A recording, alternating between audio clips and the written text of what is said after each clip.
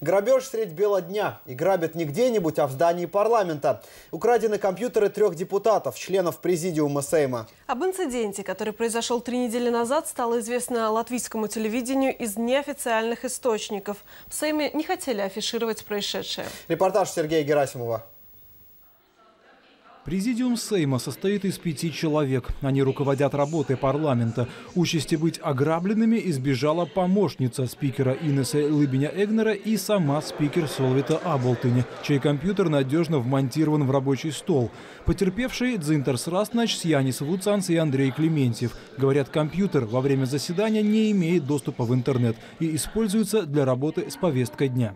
Естественно, что он не является э, ноутбуком нового поколения, не является дорогостоящей аппаратурой, так как в этом э, формате, как он используется, нам интересует, он интересует как монитор, как суфлер, да, а ни в коем случае не как полноценный компьютер с объемом памяти большой, с возможностью мульти мультимедийно его использовать.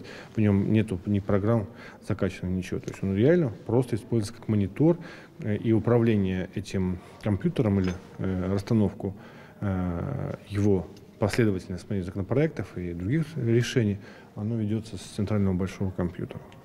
Компьютеры членов президиума, в отличие от тех, что все остальные депутаты приносят с собой на заседание, зал не покидают, так что пропасть они могли в любой момент. Сразу же после кражи потерпевшим выдали новые рабочие аппараты. Украсть что-либо из зала во время заседания практически невозможно, ведь пленарные заседания транслируются в режиме реального времени в интернете, сразу с нескольких камер. Но вот что происходило в зале после заседания, это большой вопрос. Тем более, что до произошедшего эти двери в зал всегда были не заперты.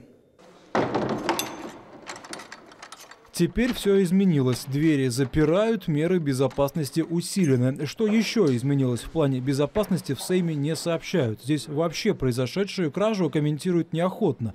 Не исключено, что кого-то за произошедшее могут и наказать. Директор канцелярии Сейма не может ни подтвердить, ни опровергнуть эту информацию. Эта информация в компетенции полиции. У директора канцелярии Сейма нет информации, чтобы в Сейме происходили какие-либо кражи ранее.